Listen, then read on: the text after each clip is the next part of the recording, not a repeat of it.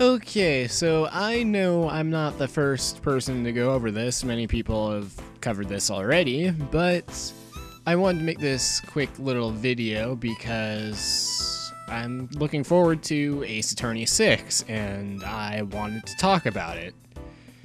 And yeah, now about the game, this is the first time in the main series that it takes place in a different country.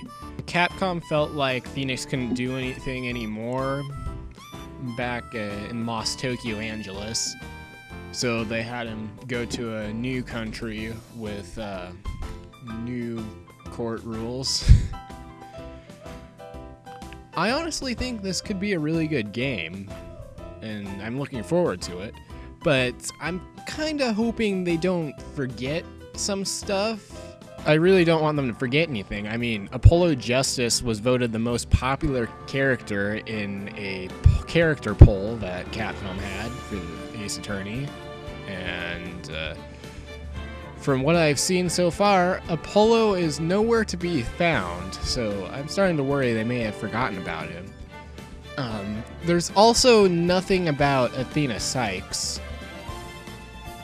I know she got more character development than Apollo's gotten so far from what I've seen, but it doesn't really make sense to me to have her appear in Dual Destinies and then not show up in Ace Attorney 6. Screenshots for the game have been submitted already, and there's some really interesting stuff on there. And it, it looks pretty nice. But, uh, from what I've seen, it kind of makes me think of the Great Ace Attorney, that one game that Capcom refuses to localize. Uh, you know, other than Investigations 2. The game about Phoenix's ancestor. I currently have artwork from that game as my desktop background. Capcom, don't make me cry myself to sleep at night. Back on the topic of Ace Attorney 6, I've seen some objects that look similar to Magatamas, and all it does is make me think of the Fey clan and stuff. So I think that Maya Fey could be appearing in the game, but just because these objects look similar doesn't guarantee anything. The gameplay, how it's different, uh, one of the new characters plays a fourth role in the court. She's not a defense attorney, prosecutor, or a judge. She has some kind of fourth role or something. Then there's something called the water mirror, which would probably make much more sense when we actually see what it is.